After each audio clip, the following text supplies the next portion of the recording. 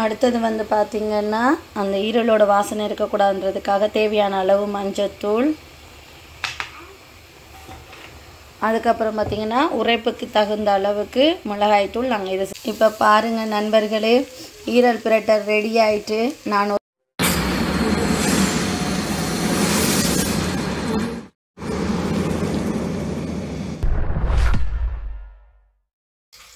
வணக்கம். நாங்கள் உங்கள் சசினிசா ஃபேமிலி இன்னைக்கு நாங்கள் ஒரு புதுவிதமான ஒரு டிஷ் பார்க்க போகிறோம் வீடியோவை தொடக்க முதல் இறுதி வரைக்கும் பாருங்கள் ஸ்கிப் பண்ணாதீங்க. எங்கள் வீடியோவை முத முறையாக பார்க்குறீங்கன்னா சப்ஸ்கிரைப் பண்ணிட்டு பாருங்கள் வீடியோ பிடிச்சிருந்தா லைக் பண்ணுங்கள் ஷேர் பண்ணுங்கள் கமெண்ட் பண்ணுங்கள் இன்னைக்கு என்ன வீடியோ பார்க்க போகிறோம்டா ஈரல் வந்து ஈரல் பிரட்டல் எப்படி செய்கிறேன்னு நாங்கள் பார்க்க போகிறோம் வாங்க வீடியோக்குள்ளே போகலாம் வாங்க இப்போ நாங்கள் ஈரல் சமைக்க தேவையான பொருட்களை பார்ப்போம். நான் இதில் பாருங்கள் முக்கால் கிலோ ஈரல் எடுத்து வச்சுருக்கிறேன். அதுக்கு வெங்காயம் பெரிய வெங்காயம் ரெண்டு வெட்டி வச்சுருக்கிறேன். மூன்று பச்சை மிளகாய் கறி வச்சு கருவேப்பிலை வச்சுருக்கிறேன். தேவையான அளவு தக்காளி பழம் எடுத்து வச்சுருக்கிறேன்.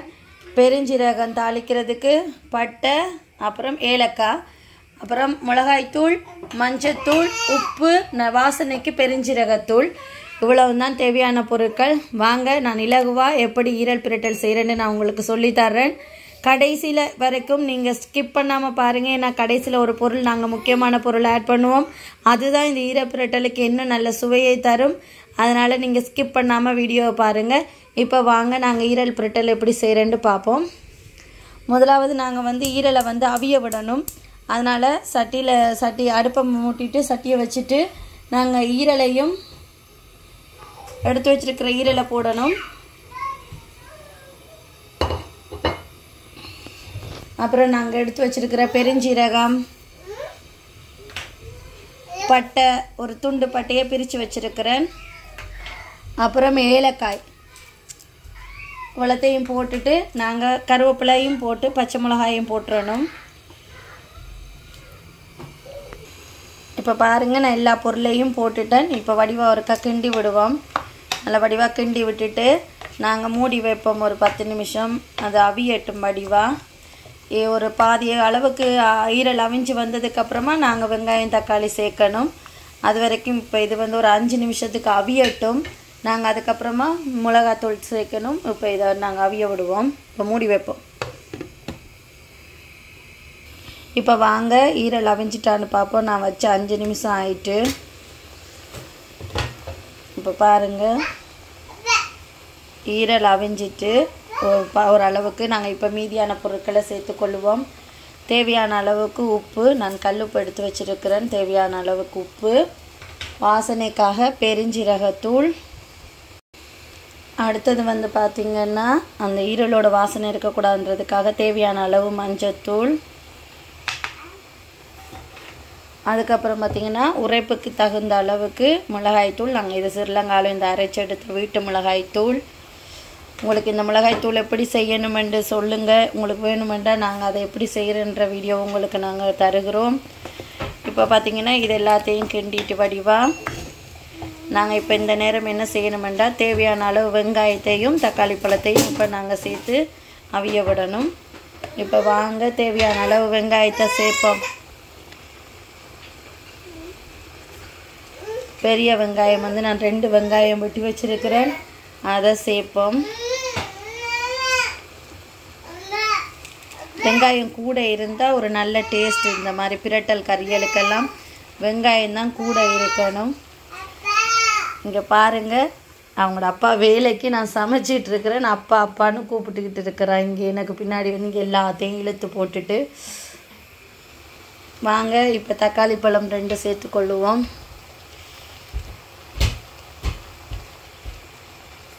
இப்போ தக்காளி பழம் சேர்த்தாச்சு. வடிவாக கிண்டி விடுவோம்.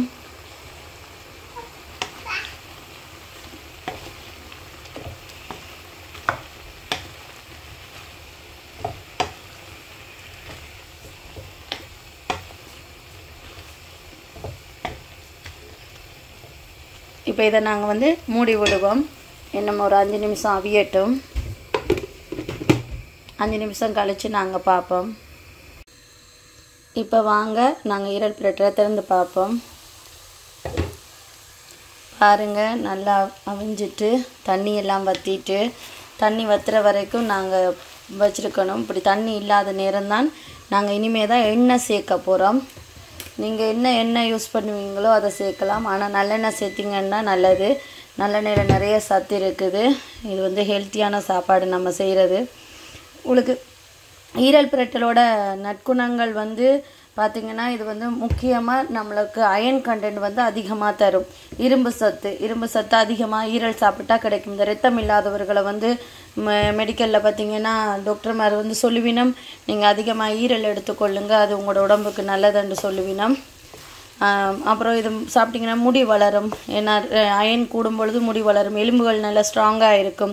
இதெல்லாம் வந்து முக்கியமாக பார்த்தீங்கன்னா கட்பிணி பெண்கள் பால் கொடுக்குற தாய்மார்கள் அப்புறம் பாடி பில்டர் ஆகிறவங்கெல்லாம் வந்து விரும்பி சாப்பிடலாம். ஏன்னா அவங்களுக்கு மிகவும் இது வந்து பயனுள்ளது. சிறு குழந்தைகளுக்கு இது கொடுக்கலாம். நல்ல வளர்ச்சி இருக்கும் அவைகளுக்கு. நல்ல ஞாபக சக்தி மூளை வளர்ச்சி எல்லாம் கூட இருக்கும். அதனால் இதை நீங்கள் வாரத்தில் ஒரு நாளாவது எடுத்துக்கிட்டிங்கன்னா உடம்புக்கு நல்லது. இப்போ இந்த ஈரல் வந்து பார்த்திங்கன்னா எண்ணெயில் வந்து வறண்டு வரணும். நாங்கள் அது வரைக்கும் இப்போ வெயிட் பண்ணணும். நல்லா வறண்டு வரட்டும். நம்ம ஊற்றின எண்ணெய் நல்லா திரண்டு மேலே வர்ற வரைக்கும் இது வற்றி வரணும். நீங்கள் வந்து எனக்கு தெரிஞ்ச விஷயங்களை நான் சொல்லியிருக்கிறேன்.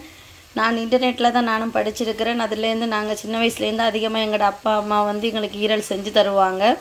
இப்போ இதையே நாங்களும் எங்களோட பிள்ளைகளுக்கு கொடுக்குறோம். நீங்களும் முடிந்தவர்கள் பிடித்தவ பிடித்திருந்தால் நீங்களும் உங்களோட குழந்தைகளுக்கு இது போல் செய்து கொடுங்க.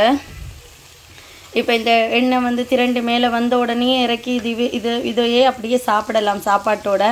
ஆனால் இதுக்கப்புறம் நான் ஒரு டிப்ஸ் சொல்கிறேன் பாருங்கள் அதோட அதையும் சேர்த்துட்டு சாப்பிட்டு பாருங்கள் சும்மா சுவை அப்படி இருக்கும். ஒரு கோப்பை சாப்பிட்றவங்க ரெண்டு கோப்பை சோறு சாப்பிட்ற அளவுக்கு டேஸ்ட்டாக இருக்கும். இப்போ இந்த எண்ணெய் வந்து திரண்டு வரட்டும். எண்ணெய் பிடிக்காதவர்கள் அளவாக ஊற்றலாம் எண்ணெய் நல்லா பிடிக்கும் அப்படின்றவங்க கொஞ்சம் கூடுதலாக ஊற்றினீங்கண்டா நல்லாயிருக்கும் இந்த காலத்தில் வந்து எண்ணெயெல்லாம் சேர்க்கறது கவனமாக சேர்க்கணும். இந்த வீடியோ பிடிச்சிருந்தா லைக் பண்ணுங்கள் இந்த வீடியோ உங்களுக்கு இன்னும் பயனுள்ளதாக இருந்திருந்தால் எங்கள் சேனலை இது வரைக்கும் சப்ஸ்கிரைப் பண்ணாமல் பார்க்குறவங்க சப்ஸ்கிரைப் பண்ணி உங்கள் ஆதரவை தாங்க. கமெண்ட் பாக்ஸில் உங்களோட கமெண்டை சொல்லுங்கள் நீங்கள் தர்ற ஒவ்வொரு கமெண்டும் எங்களை வந்து ஊக்குவிக்கும். நீங்கள் போடுற ஒவ்வொரு லைக்கும் எங்களை வந்து அடுத்த படிக்கு க கூட்டிகிட்டு போகிறது. அதுதான் உதவி செய்யுது. நீங்கள் பாருங்கள் இன்னும் எப்படிப்பட்ட வீடியோக்கள் வேணுமென்று சொல்லுங்கள் நாங்கள் உங்களுக்கு தருகிறோம்.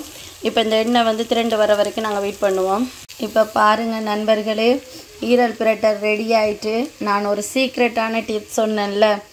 அது வந்து இந்த கீச்சப் தான் டொமேட்டோ கீச்சப் இந்த கீச்சப்பை கொஞ்சம் சேர்த்து பாருங்கள் கீச்சப் பிரியருக்கு இது ரொம்ப பிடிக்கும்.